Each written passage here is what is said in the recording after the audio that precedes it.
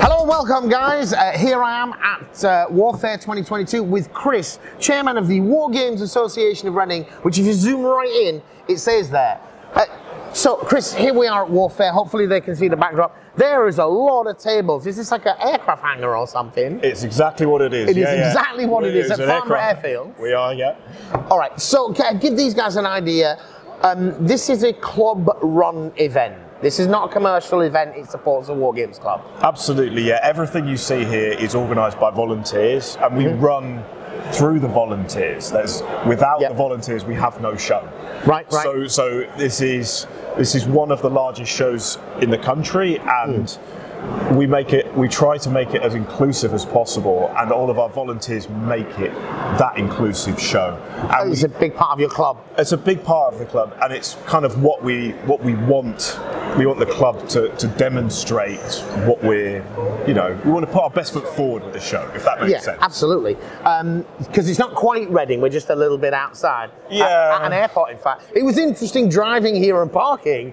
Is you've got aircraft taking off three feet above you. Yeah, yeah, it's good if you're a, tra- a, a plane spotter. Yeah, Yeah, yeah, yeah. yeah, It's okay. something, something for all the family.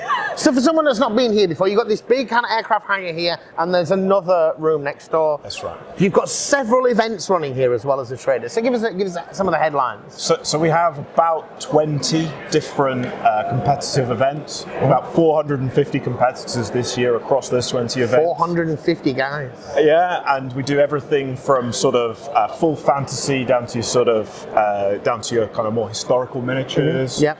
Lots of different rule systems in there. Yeah. We have demo and participation, and we have about 27 of those, 28 of those this year, across again a wide range of things. In addition to the sort of 60 odd traders and the bring and buy, which you Yeah. know, is always a nice thing for people. As a- to, Absolutely, bringing buys at war game shows are always a great thing.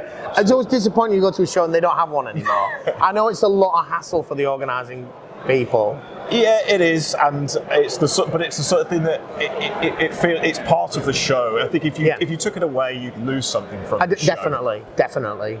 Um, so we saw, as well, in terms of the traders, you've got a lot of big names here. I see, I've seen a Warlord store, Yeah. seen a Great Escape Games. Uh, any any other names that you care to mention? Yeah, so we we're our, our, our, the big kind of people who've been with us for a long time are people like KR Multicase. Right, yes, and they've got an extensive stall over They've there. got a Yeah. good stall, and we've also got people like uh, the guys at Westwind, Yep. um, and Forged in Battle. They're, they're a long-term supporter Yeah. of us as well.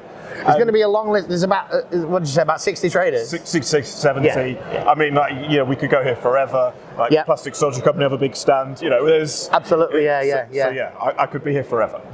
If you were going to tell these people what if they were to come to Warfare 2023, Yeah. what what are they going to get? What why should they come? Why should they come? Well, they should come. They should come because they're going to be supporting a local war games club that's trying to give back to the community. Community. Mm-hmm. We've got a lot of a lot of stuff for them to come and see and do. Hopefully. Yep. There's the demonstration and participations, and they, they hopefully will engage the whole family. So it's not just one person's day out. There's a good retail experience. So if you want to come and buy some stuff, do some shopping, we've got that covered. Uh, You And want pre-painted scenery or you want plastic kits? It's, they're all here, it's right? all here. And if you want to see what's possible in the hobby, you can come and have a look at the competitors, see how that's been done, and maybe if you fancy taking part, there's always new competitions coming up. There's so many tables here, guys. We'll try and get you some B-roll footage, uh, but we couldn't possibly cover them all in a video of this length.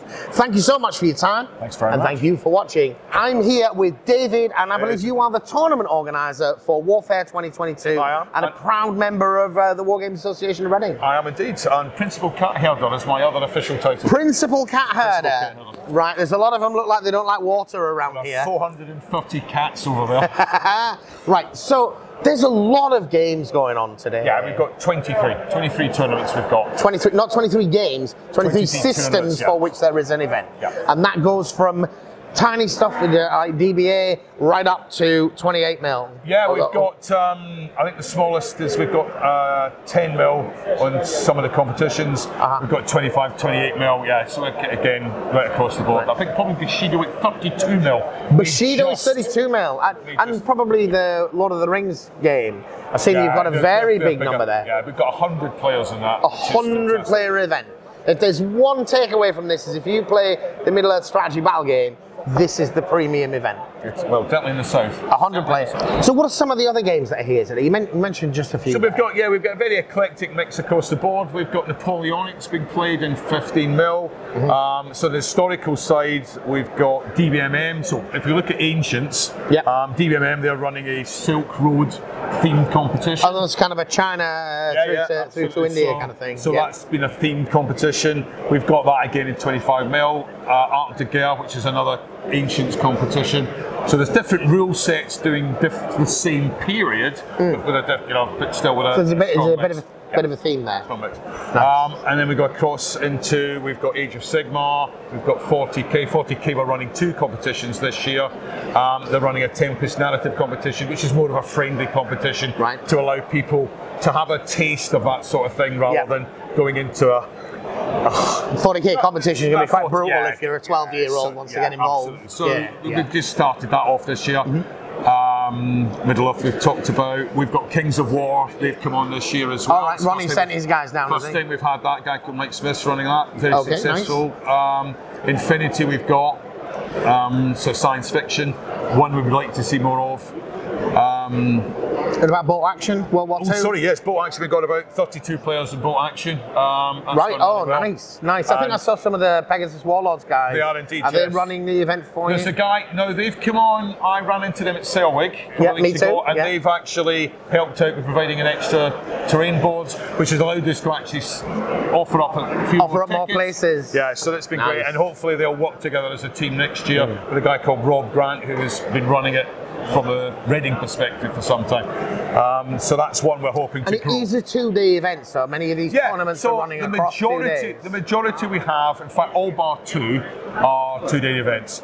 The so this we brought on this year. We brought on two of the strongest played yesterday, and Bushido has replaced them today. Right. So and two of the strongest is another. That's a 25 mil based um, uh, ancients type Yeah. game again. Um, the other one we've got is Saga. Um, Saga is running its seventh Grand Melee here. Oh, right, nice. Mm-hmm. being supported by Gripping Beast. Um, and that's and alongside that is Sword Point, which is another 25 mil game, which is also from that, that stable. Yeah, yeah, they do already starter sets, I think. I'll have a look at that. One of the reasons people do competitions is they want to win things. Yeah. So if I come to one of your events, if I take part, I buy my ticket for the tournament, how does that distinguish me from one of these other mooks just wandering around who's paid a few quid? So what we've got, each of the competitions has the trophies as well. So there's tro- trophies we provide for each of the competitions, which is a lovely laser cut emblem. We've got the, Wargamers love a bit of laser cut stuff, right? but Yeah. it's a 3D wyvern is inside it. So the Oh, emblem. beautiful. Show you one later. We'll try and get a picture. yeah. Um, and even we've got a little wooden spoon version of that as well. Right. So those are scattered across the competitions, depending on the size of competitions. There may be best sporting awards, um, best painted armies awards, etc. And then in addition to that, we've had a fantastic response um, from our two main sponsors, KR Multicase and Westwind Productions Forged in Battle, who provided prize support in the form of cases that have been given to the competitions. So there may be a, a case of different types are provided to each of the competition or tournament organisers. And that's across 30 all events. 23, that's, 23, all that's 23 quite a events, lot of yeah. So of he's, prize support. he's Yeah. given about eight hundred pounds worth. Yeah. Westwind gave me a, three boxes with close to three thousand pounds worth of retail value, and again those figures have been broken up. And so put the out bolt, into ac- the- the, bolt action guys each got a blister and a casualty marker. Every single one of those Yeah. players. Yeah. So it, it varies from competition and to that, competition. and that you got the uh, you got stuff at the top end like KR have Yeah. made a big donation, but all the way down Yeah, trainers and- and- have been contributing by what, of what's been support. important to me, and it, it's not just sometimes about size. Mm. Um, what's been lovely is another trader. Um, he provided um, a new little corner piece for all the Lord of the Rings players. All right. So they've again gone away with a little something Unique to their game and- experience. And hopefully they will go back and they'll buy the rest of the building. Yeah. Um, yeah. Okay. All right. So, So this, this this prize is to be won, right? there is. There's prize to one. Prize That to one. sounds great. All right. So if anyone's looking at this and thinking two questions, one is if I want to if I want to take part in one of these events next year, or I live in the south of England, um, when can they expect these tickets to go on sale no, for 2023? Um, we've put the tickets on sale April the 21st this year, and they'll go on sale round about the same time. So we've got the website; they'll go on sale on the website. That's what to look for. Hopefully, And when you they'll- say website, the, the War Games Association of Reading website, there you go. War Games Association of Reading website. cleverly called War Games Association of Reading.co.uk. So you'll Right, see stuff yeah. go up on there. There'll be stuff come up early on as well, um, announcements. And already we're starting to look for tournament organisers. We're really looking to expand out, bring in some of the other systems. There are systems I'd like to have got here, but didn't manage to get it. So if you're out there and you're thinking like, O Group needs a tournament, Yeah. You know, or some some of the more new games, a Longley game or something Yeah, like that. absolutely. You're up for running that event. You want to hear from them. Absolutely, absolutely. And again, there's a tournaments at War Games. Reading.co.uk uh, all right. email address. But you're you're constantly looking for organisers, Yeah. and then of course the last thing is probably all know a, a, a show's lifeblood is its traders, right? Yeah. And and you again, if traders uh, who are not necessarily already in touch, same thing, get in touch. Yeah, absolutely. But we're happy to expand the trade, and where we want to do is also link the tournaments and the trade together a lot more. Um, you know, if there's traders who themselves have tournaments they would like to see running, get in touch. Just Yeah, Oh, for their game systems, and they- Absolutely, and yeah. they, want to get an event going. I, I'm Yeah. with you. That, that makes a lot of sense. Next year, you mentioned this year's got a Silk Road theme well, for the, one of the competitions, yeah. for the competitions. Now, next year, I understand you've got a different theme in mind Yeah, for the we- tournament. we- we're looking or for the show. Yeah, it's, as, as chance has it, um, next year happens to be the 110th anniversary of the publication of H.G. Wells' Little Wars book. So That's with the spring-loaded cannons, right? Exactly what it was. Um, Yeah. So it also, and that's to some degree, if you take aside the Kriegspiel that was done during um, the Franco-Prussian War, it's really the grandfather of where we are today. Yeah. So Yeah. the X-wing guys, that's where it all came from. Um, it was H.G. Wells and some of his chums, not far from here down in Sandhurst, Right. pinging dowlings at lead soldiers and knocking their heads off. Yeah. And he formed a set of rules, which is a little war. Some of us still think there's some appeal to that way to play games. Well, and to, to, to add another piece into that, one thing I'd also like to see is some interesting participation games themed around that as well. Yeah.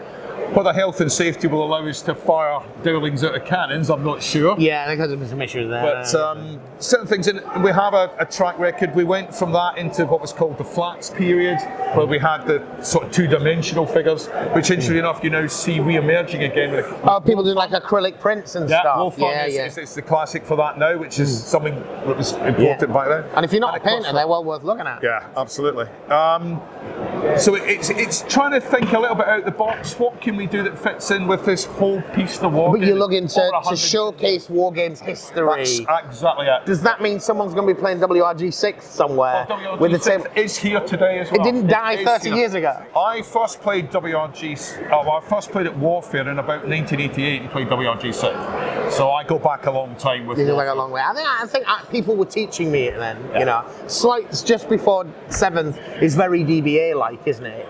Yeah, that's well, when the big change was that- between that- sixth that and is very seventh. much an evolution. But anyway, Yeah. uh, that's that's uh, we could go on and on about that. Blah, blah, All right. Well, blah. thank you for your time. So, if you're interested in laying on a, a, an event, on taking part in one. There's loads of space to grow at this event. Yeah, it's a that's- fantastic event already, but there's half an aircraft hangar down there. Yeah. Loads more that could be done, and we'll see you guys next year. Thank you for watching. Bye bye.